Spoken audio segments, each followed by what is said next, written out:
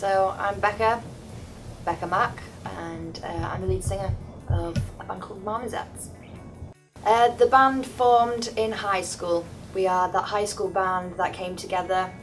Uh, two sets of siblings, so you got the Bottomleys and Macintyres, two of my brothers obviously. Um, we just got involved in the music side of things within school itself and then therefore we entered it we entered competitions and then we ended up playing like the Royal Albert Hall through one competition which was amazing. You don't get to say you've done that at the age of 16 and uh, from then on we just started writing more. And we we started band practice in a place called uh, Jam on Top which we still band practice now. And uh, we just started getting shows locally in Bradford and Leeds. We were at a point where we were thinking of a band name and we came up with some really, really bad names. And uh, one of the boys came out, I think it was like during a break, and they said, what, what about Marmozets? And I was like, sweet, sounds good, looks good, do it. I wouldn't say we're a new band, but on the scene, yeah, we are, we are a new band, I guess, on the scene. Um, because in the moment of time that we are now uh, bringing out the album and the, the, singles that we've released with the videos obviously you're going to build a fan base from that anyway and we're always a band that likes to be on the road touring all the time and being especially this year 2014 summer was incredible. We played a bunch of European festivals we did Warped Tour we've got a bunch of other um, tours coming up so it's, it's kind of like crunch time right now but we've been around for about seven seven years now.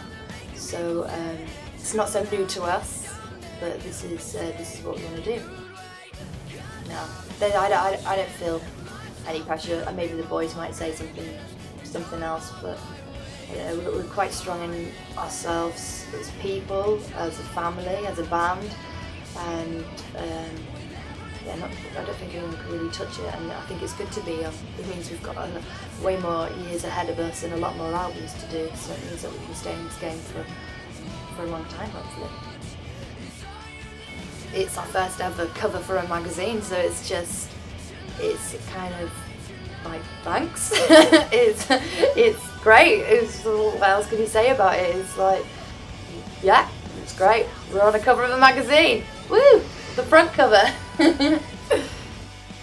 when you believe in something so much and you push so much for it and you go through literally the blood, sweat and tears, it's like, I think, I think we we deserve to be in this place and, and uh, we're confident to try and become better as a band and bigger as a band and take over the world, I guess. It was about time being signed because um, we needed we needed the money to be able to do the tours and do everything that we've done. But not only that, they're like they're family and we've we've had offers from labels before in the past and nothing's been up to scratch. And it was just there was no bull crap with them. They told us straight we told them straight and we signed a deal. And uh, we're very we're very open with each other and we want the best for each other. So can't complain with that. It doesn't happen every day especially with the deal that we've got and the amount of love and passion behind us.